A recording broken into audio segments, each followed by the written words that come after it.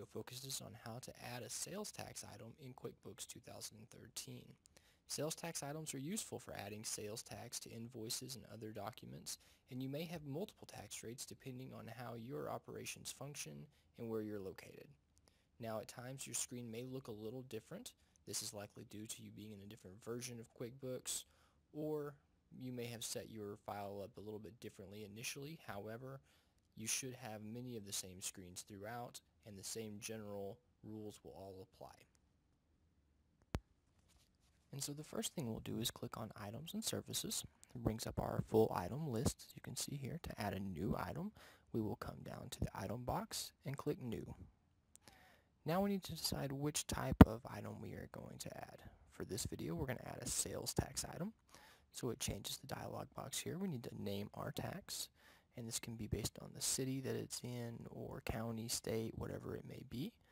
Um, for this city, we'll just name it Sample City. For the description, we'll just put sales tax.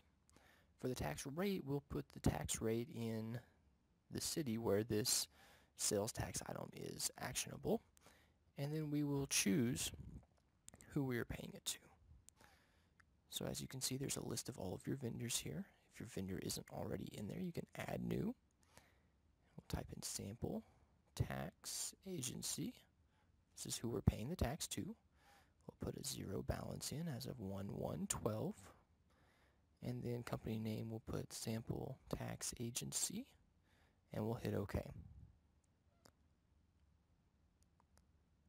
Now that it brings back that dialog box, once everything is, is correct and you're satisfied, click OK. And as you can see, it adds our new sales tax item into our items list. So we'll exit out of this list and let's test it out. So we're going to create an invoice. Okay, so when the invoice screen comes up, we will pick the customer who we're invoicing. And this will pop up and say that there's available sales orders. We're not worried about that right now. We just want to make sure the tax will work. So we come down here and we will add an item to the invoice. So let's add a DVD player. As you can see, it comes up as being taxable, and there's various tax rates here that we can choose. We can choose our sample city, and it brings up the correct rate, 8.875%, which we put in, calculates the tax for us, and the total amount due with tax.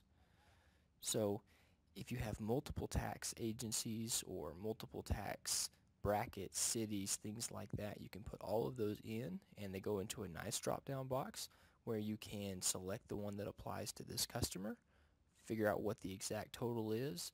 You can print the invoice or you can just simply put it in for your QuickBooks purposes.